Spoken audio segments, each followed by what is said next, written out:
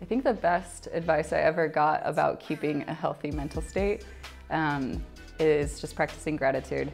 I think that allows you to see what's important. Just to go with it.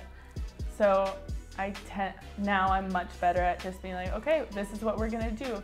But before, earlier in life, I would want to have a schedule because I've always been sports oriented, which has a schedule and a timeline. And when there wasn't a schedule, I was kind of anxious. I don't know, to be patient with myself and not kind of put that stress on myself.